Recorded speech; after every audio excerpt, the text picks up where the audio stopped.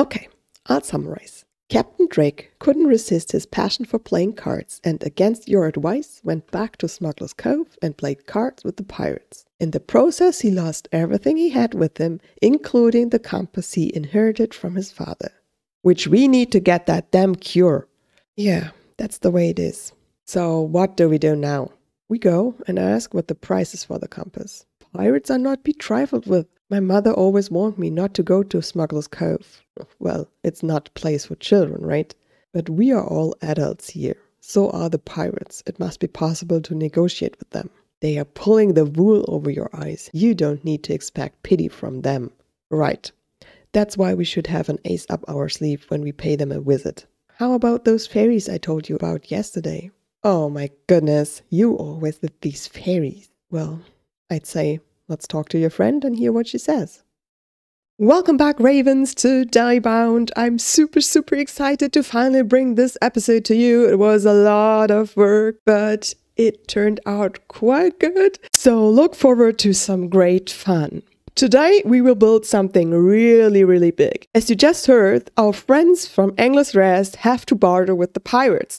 And for that, we need to work on Smuggler's Cove, which is a really, really amazing build. You will surely like it. But before we jump into it, I just wanted to thank you all for all this amazing support this year. You are so, so wonderful. And I'm very, very sorry for all the delays. But I need to put my health and family first. I hope you understand that. And I hope you do so for yourself as well. I really, really recommend that to you. But now, stop waffling around, Raven, and let's get to work.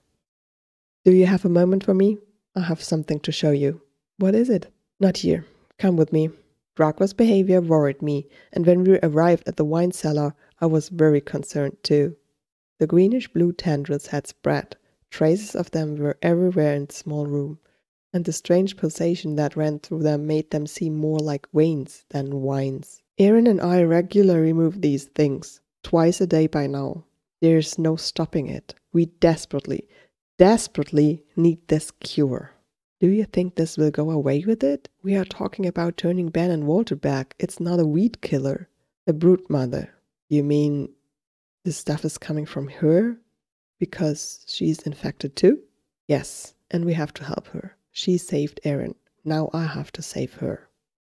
So, for building Smuggler's Cove, I have looked out a spot over here. And believe me or not, this is something I had in mind from the beginning of this season on Daybound because I found this very, very nice build and immediately thought that that would fit into this spot perfectly. So, this is where we built Smuggler's Cove, at least the building, and the cove itself, I think, is this thing behind us. I haven't actually thought about this in detail, to be honest. I was so excited about the build. so, yeah. Uh, well, we figured that out afterwards. There will probably have to be some terraforming going on here. I, I didn't look into that yet. So if we look at this here, you can see there's a lot of stone in the way. And obviously, I said it will be a big build. So this has all to go, you know? This, this, this stone here is in the way. It's really big, this house, you know? Believe me, it is big. So we will need to get rid of this.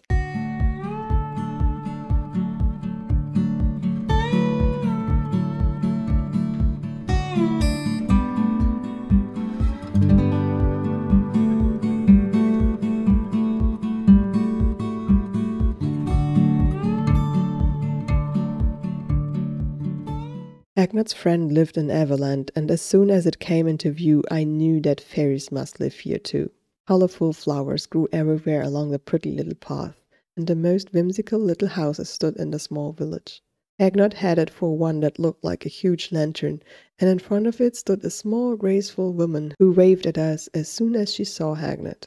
Hagnot, how nice to see you! You haven't been here for such a long time. I'm sorry, Olive. I've been very busy, and even now I'm afraid I've come to see you for a reason. What is it?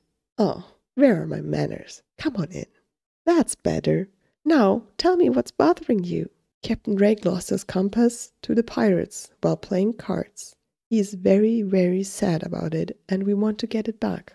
And how can I help you? I don't like the pirates at all. They have horrible manners. Well, you once told me that your fairies can help you if you have lost something. Oh, no, my dear. I'm afraid it doesn't work like that. They only fetch the same things. If I give them a carrot, they fetch me all the carrots that are lying around. But this compass is probably unique, so you can't show them what to look for. Besides, they don't let themselves be abused for theft. Their chiming is much too loud. Any pirate would immediately know what's going on. Sorry, Hagnet. As much as I would like to help you, I can't. When we have been at Marxcraft's base on Kazuya Island, I missed out on showing his awesome builds and I had to make up for it in the next video. This time, I don't want to do that. I will show you Magpie amazing base right away. So this room you already know. This is where the stranger and Hagnot and Olive have talked about the fairies. It's inside the amazing lantern. You've seen that in the video. Upstairs is this really, really cute bedroom. Don't you want to have such a bedroom as well? I want to. I want to. This is so, so cute. And on the ground level, there is a little kitchen and working area inside this wonderful lantern. Now, all this area here has originally been a vanilla village. Most of us had occupied one of these houses. Here you can see that was Swarmee's shack, and we started to transform them into what we needed it. And at the end, Magpie Craft decided to stay here and to transform all the houses into something really, really different. She started out with this one over here, which shall be some kind of squash. I'm sorry, magpie, I forgot what it was exactly. I know it wasn't a squash, but something similar. But nevertheless, it is just so cute and looking so good. Have a look inside. This was Salty's original house, and this is what Magpie did with it. Awesome. She added all the pathways and little details, like this area here with the little fountain. And over here we have Hooty's old shack. Magpie transformed it into this house. Oh my, this is amazing too. I can't decide which one is the one I love most. This house was actually inhabited by a warden for some time because Hooty and Rabbit wanted to prank Magpie and, and brought a warden over here. And later on, because Magpie loved Mr. Huggles, that was the name of the warden, to stay in her storage area. Let's have an actual look inside. It was closed up with glass, so you could see the warden live inside. And we had some noise making machines in there, but still, Mr. Huggles went around and killed people who tried to open chests, which honestly is quite a good thing to keep people from stealing stuff. But obviously, Magpie Craft did die a lot to Mr. Huggles, so at one point she decided it is really annoying to always have blindness in here and being in fear of certain death. So Mr. Huggles had to move again, and guess where he is living now? Yes, you are right. Mr. Huggles is the warden who lives in the hermit hut on the mountain. So actually, Mr. Huggles is the actor for Ben in our storyline of the stranger and her friends from Angler's Rest. Now, there's one last thing I wanted to show you, and that is Mark's original home. Magpie Craft transformed it in some kind of mushroom, and it as well is a really awesome build that I fell in love with. Look at this ceiling! I like this roof! Oh my goodness. This is so sweet as well. So this is the tour of Magpie Craft's base done. Let me know in the comments which of the houses you like most. And if you want to see more of Magpie Craft's things, then have a look at the description. There's all the links to all the day bounders. So if you have time over Christmas, go there and watch some of their videos. They're doing awesome, awesome stuff. For now, let's head back through our amazing portal that we built last time. At this. I really, really like it still. And I think I never have shown you this, did I? I think I've talked about this and said I need to think about how that should look like. So this is what it is. It is just this little little entrance room. And I mimicked inside the portal from the nether side. That way the portal is hidden away safely within the mountainside. I really, really like that. That purple looks so good with the green grass and moss and stuff outside. I love it! I love it so much. But Magpie Craft's amazing base is just mind boggling. We were both very sad on the way home. But it wasn't just that we no longer had an ace up our sleeve that worried us. Did you see the green bluish spots everywhere? Yes, I did. Where does that stuff come from? I have no idea. It's spreading everywhere now. What do you mean?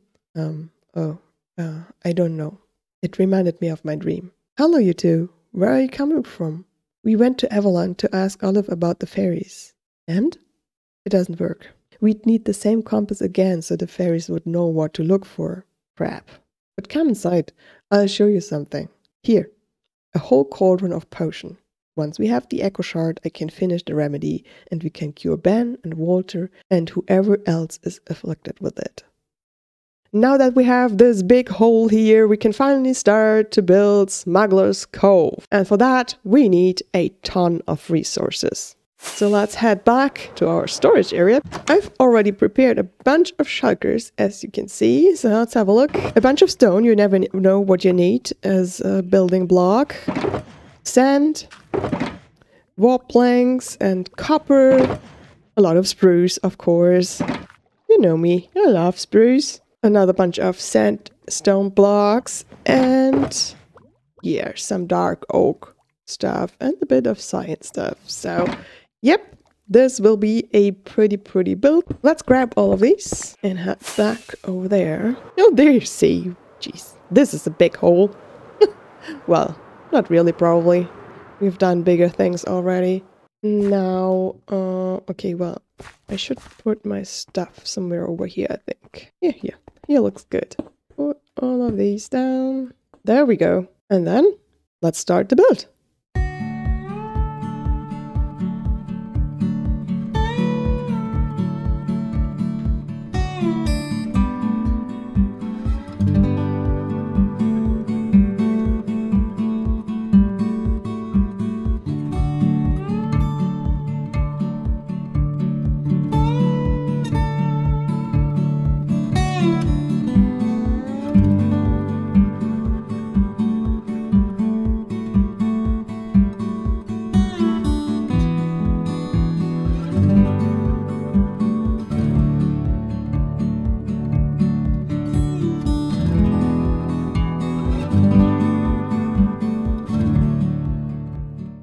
Smuggler's Cove was an impressive building. The smuggling business seemed to be doing well in this area.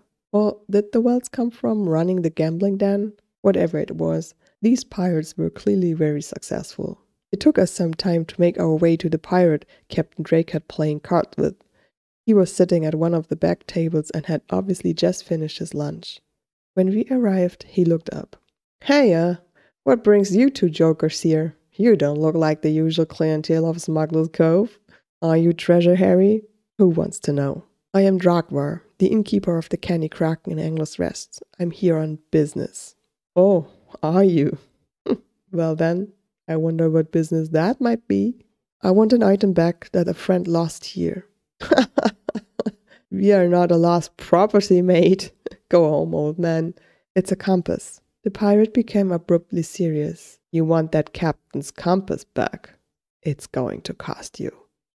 It is done. I have completed the build of the Smuggler's Cove, and as you can see, the entrance needs some terraforming here, but that will be done in another episode. For now, let's have a look inside. This is the Pirate's Pub with the gambling den. This is also where Treasure Harry had sat back here and there's a lot of room to play and eat and drink and have fun as a pirate. And I think pirates probably enjoy this little restaurant in their hideout. Unfortunately, this is the only room I actually made interior for. If we go up this not really safe staircase, you can see there's nothing done in there and there's even holes in the ceiling because yeah, all those rooms up there are still empty because I hadn't enough time, but we can go out here and have a look out from the tower, which is really cool.